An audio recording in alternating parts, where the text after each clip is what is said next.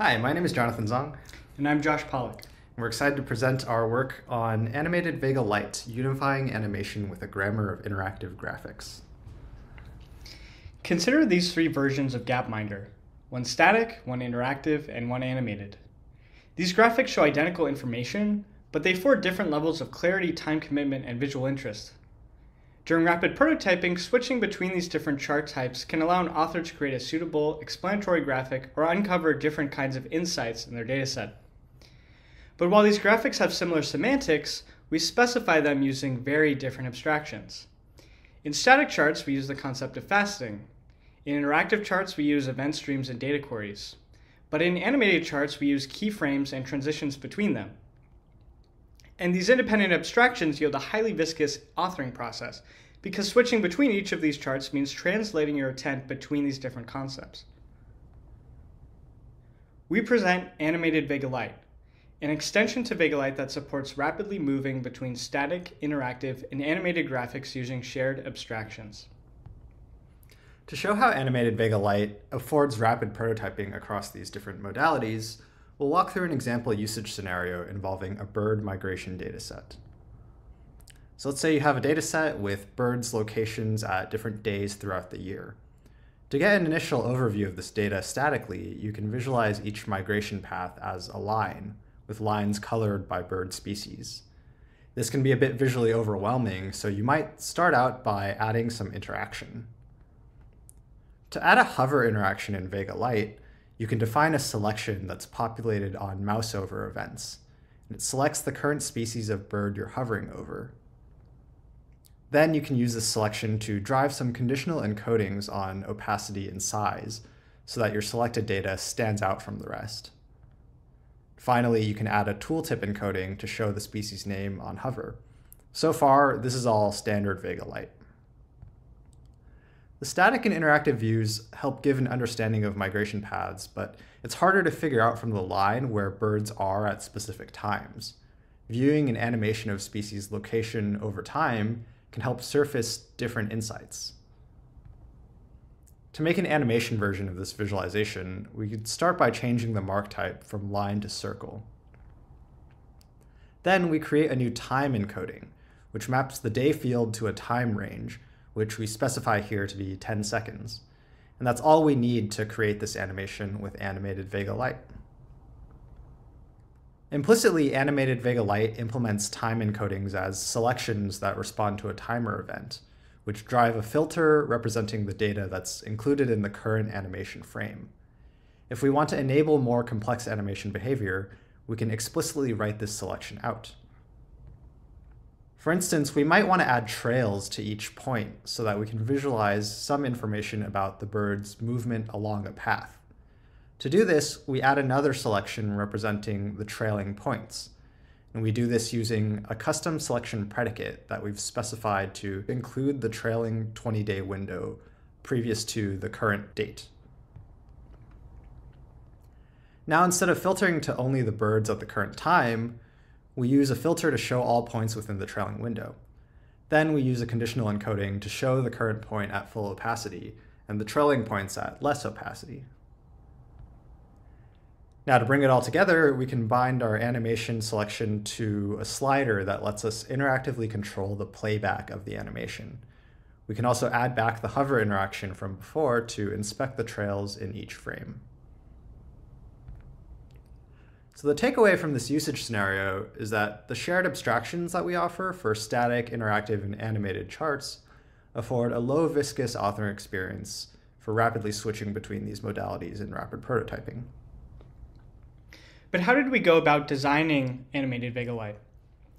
Well, one of the key inspirations of our approach was comparing two taxonomies from 2007, Yi et al.'s interaction intent taxonomy and Heer and Robertson's animation type taxonomy. We found that the kinds of visualization techniques they referenced, like filtering, panning, and zooming, significantly overlapped, even though the taxonomies characterized them a little bit differently. And this correspondence led us to the design of animated Vega Lite's core abstractions. The key idea of animated Vega Lite is to model time in two different ways. First, to integrate animation with static charts, we can think of time as an encoding channel. And second, to integrate animation with interactive charts, we can think of time as an event stream. First, let's explore time as an encoding channel. Returning to the Gapminder example with this concept in mind, we can think of the static version on the left as faceting out years in space, while the animated version on the right facets out years in time. Now how does that translate to the animated Vega Lite grammar? Well, by simply changing the facet encoding channel to a time encoding channel, we can switch from producing spatial facets to creating data-driven keyframes. We've thus reduced the complexity of switching between these charts to a single atomic edit. Now let's turn our attention to the view of time as an event stream. So if we compare these two Gapminder illustrations, we can see that in the chart on the left, the year field is driven by a user using a slider. And on the right, the year field is driven by a timer. So the difference between the interactive and animated charts is whether a user is causing the data to change over time or the system is. At the level of the grammar, this looks like changing a user-driven event, such as a mouse over event, to a system-driven timer event. And in both cases, these events are translated into data queries that control the rendering of the dataset at any given time. So just as in the static case, by generalizing existing concepts in Vega Lite, we're able to reduce the effort of switching between these charts to a single atomic edit. Now when interacting with a dataset, a user can select arbitrary collections of data points. But when working with animations, it's not so clear how to get that same freedom. So what we did is we exposed custom selection predicates to Vega Lite selections to allow users to precisely filter the contents of a selection for any given keyframe. And this lets you do very expressive animations such as this Dunkin' Donuts opening times visualization you see on the right. Animated Vega Lite adds very few new language constructs. Its abstractions are designed to compose with Vega Lite's existing constructs. Many of our examples show the benefits of this composition. Because animation and interaction both use selections, any dynamic behavior that can be driven by an interaction can also be driven by an animation. For example, we can take this classic example of an interactive overview plus detail chart and turn it into the equivalent animated chart by changing the event type from drag to timer. To explore our coverage of interaction animation techniques, we took this idea and applied it across different chart types. One surprising thing we noticed is that although these two examples, Gapminder and bar chart race, look pretty different from one another, because of the way Vega Lite composes mark types and encodings, these examples have essentially the same spec. The main difference is changing the mark type from point to bar and changing the dataset and the associated fields and the scales and transitions are all inferred automatically. Coming back to the interaction animation taxonomies, we found that our examples cover most of the categories in both taxonomies. We were unable to support animations that involve changes to encodings over time, for example, converting a scatter plot to a bar chart. This is also a limitation of the original interactive Vega Lite. To better understand these strengths and limitations of animated Vega Lite, as well as how our tool sits in the larger design space of animation grammars, we adapted the critical reflections evaluation method from Satyanarayan and others from 2019. We recruited expert designers of four other animation grammars to deeply engage with our system, and we conducted semi-structured interviews before and after they used our tool. We had four main findings from the study. We found that one or two key examples tended to motivate animation grammar designs, and that these examples were often consistent across tools. We also explored trade-offs between different approaches to grammar design, such as natural programming and core calculus. And we also developed and explored two different axes of the animation grammar design space. Now, in the interest of time, we're only going to cover one of these four findings, scene in segue dominant abstractions. But we encourage you to read our paper to learn more about these other pieces because we think they're really interesting. So the idea of scene segue came from Thomas Lin Pedersen, the architect of GGAnimate, who introduced these terms back in 2018. And simply put, a scene animation is one where data changes over time, but the encoding is fixed, like Gapminder on the left. A segue animation, on the other hand, involves transitions between different encodings.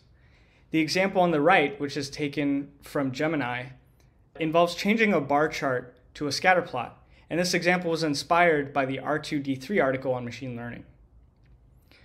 We found we could fairly cleanly split animation grammars into one of two categories based on whether they better supported scene or segue animations. And animated Vega Lite falls into the scene dominant abstraction category. To see why it might be possible to split animation grammars in this way, notice that scene animations tend to rely heavily on data-driven keyframes, where each keyframe has the same encoding. Scene dominant grammars such as ours focus on automatically generating keyframes while keeping transitions between them relatively simple. On the other hand, keyframes and segue animations are often highly customized, and each keyframe may have a different encoding. In segue dominant grammars, users typically provide keyframes as individual charts or SVG files, and it's a system's responsibility to provide support for transitioning between keyframes. But even with this distinction, we found that the differences between scenes and segues wasn't always clear. For example, the swimming world records chart from Data Animator looks at first like it's a scene animation. But in fact, the authors of Data Animator expressed it using their segue dominant system by specifying explicitly a start keyframe and an end keyframe, and then using a data driven transition to convert from one keyframe to the other. And so future work could explore more how to blend these scene and segue dominant abstractions to obtain an even more expressive animation grammar. Finally, we plan to contribute back to the community of DataViz practitioners by merging our animation grammar into the main VegaLite open source project, so that everyone can enjoy making Gapminder animations and bar chart races. Furthermore, we hope that animated Vega Lite can facilitate future research on interactive and animated visualizations, akin to the role the original Vega Lite has played for interactive charts. For example, researchers may be able to use animated Vega Lite to better study mixed interactive and animated charts. Thanks.